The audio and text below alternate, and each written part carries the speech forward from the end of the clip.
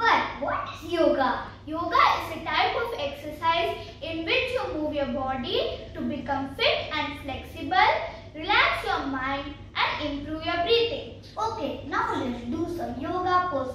Let's start with Surya Namaskar.